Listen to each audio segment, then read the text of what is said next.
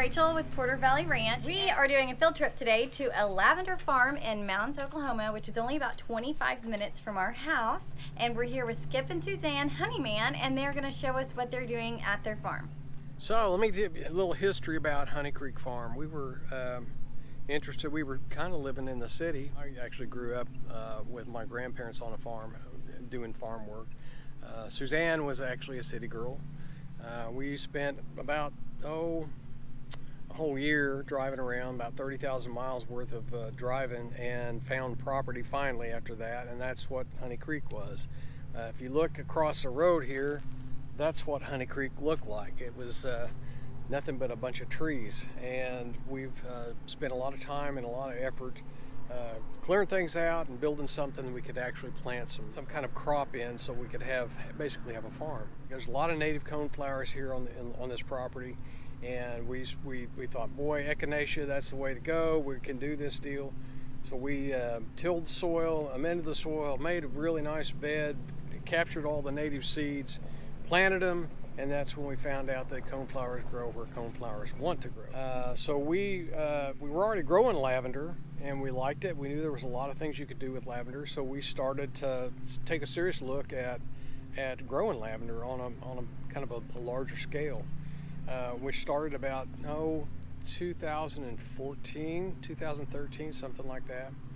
Um, we are actually a member of the united states lavender growers association. Um, we joined that in 2015 and started planting started planting lavender. We grow we actually grow um, 11 or 12 different varieties of lavender. They're all different. All the flowers are different. All the, the aromas are different.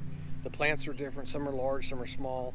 But um, it's it's it's something that once you get it up and going, you, it kind of takes care of itself once you once you have it up and going.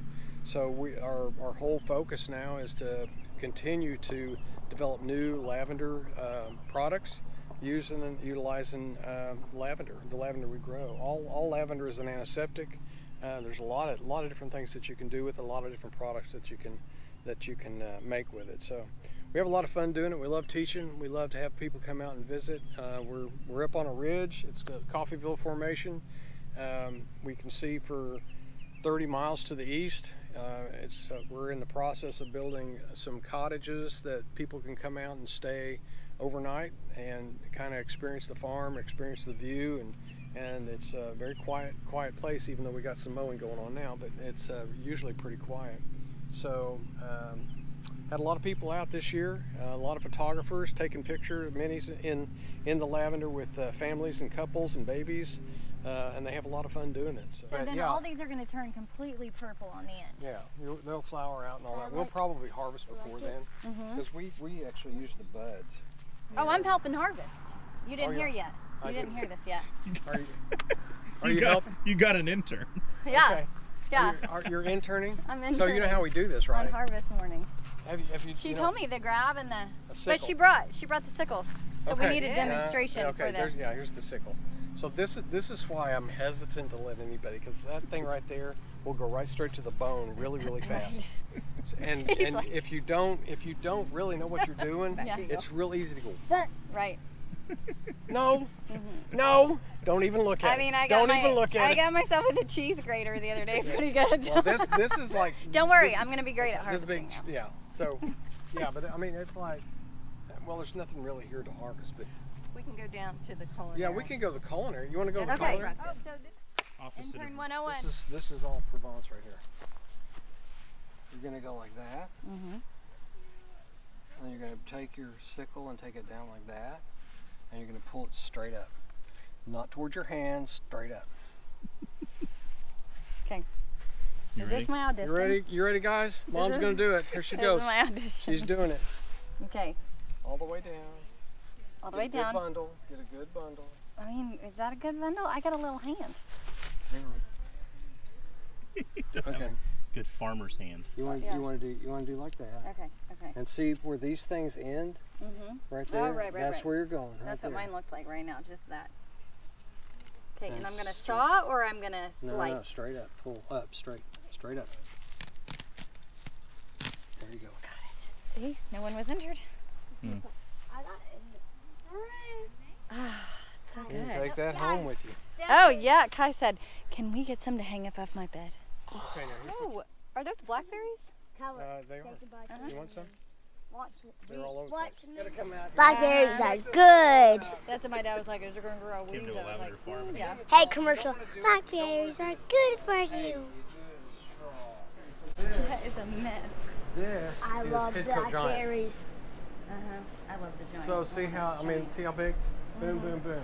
So the stuff up there, I'm like, man, I don't get why it did what it did. Okay, so see this right here. Oh, I guess you can see too. Huh? Watch this. Watch. So we're gonna Rip we're gonna off. we're gonna take this, Mhm. right, and we're gonna take just like not like that. Right. We're gonna do like this, and get it down to there, Okay. and then you put um, the enzyme or the root Rooting stimulator hormone. on it. Like a ro- rooting hormone. Yeah, Okay. and put that on there, and then you put them in. What we do is, is grow them in LE, what's called LE cups. That, that's an Ellepot. Ellie pot. They're called Ellepots. So you put the So, so what we do is we take um, like a wire or a piece of pencil or something like that, and poke a hole in that. Put that after you put your root stimulator on. Put it in there, and then I, what I do is I'll take that, that whole thing after I got it planted. I'll take a um, watering like that black container over there, and I'll set it in it and let it soak water from the bottom. And then I put everything in that greenhouse is in a water bed. So everything gets watered. I actually water the Bottom water water. bed, and then it, it's what waters everything. So Eat This a is ton of garlic, garlic. Well, it's a bulb under there. I want to buy Right. it, Shape at the but. But what do they do with these things? You just cook with them. cut Like- them up and like a and scallion? saute with them. I yeah. want to buy it. But I mean, ta you, how? I mean, these are. I love it. Yeah. Yeah. Can we eat these? You can try it, but it's spicy. I've he's had to slowly wean my entire family into onions. Oh, they don't like onions. I were still warned. I'm just afraid of spicy. One.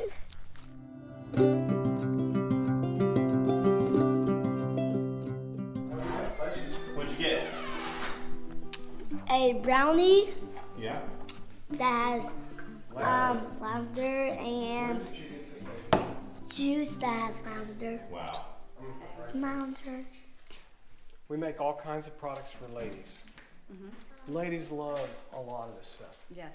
And it, I mean, you, you look at the, the you know, the, the whole industry, and there's lots and lots of stuff for ladies. Right. And I'm like, well, but the guys got to have something too. And so I basically take organic peppercorns, whether black or white, and then I'll add either I'll add lavender or lemon and lavender in different ratios. And, and so you, you basically have whatever you put it on, you have this.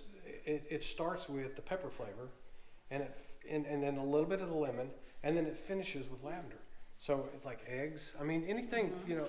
I don't know, and it, it's it's okay with beef, but it's like kind of Right, like not like pork and chicken kind and, and Uh-huh. vegetables and things like that. It really stands out. So that's Ice that's- cream.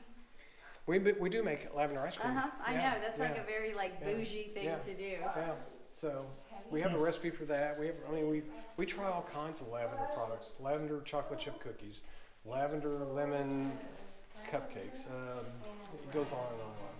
And. Okay, so we have actually been here about three hours, and I told him we wouldn't even be here very long, but it was just such great conversation, such great education, something that we will definitely be taking with us. Um, we learned more than lavender. We really connected with Suzanne and really got some great confidence and words from her. Um, but it's just an awesome place. If you're in the area and you can stop by, it's definitely worth the visit. There's so much that they offer. They have photographers that come out. They can guide you through the planting process. They have um, treats in their store that you can eat, that you can use. Jet talked us into an eye pillow. I got some of their starts that they've propagated. We got some lavender that we harvested that um, is going to go above Jet or Kai's bed. They'll probably take turns and lots of things. So they had brownies, they had lemonade. We have done it all and it's been an amazing evening with with the Honeymen. So hopefully if you're in the area, stop by. You will not regret it. You will have a fantastic experience.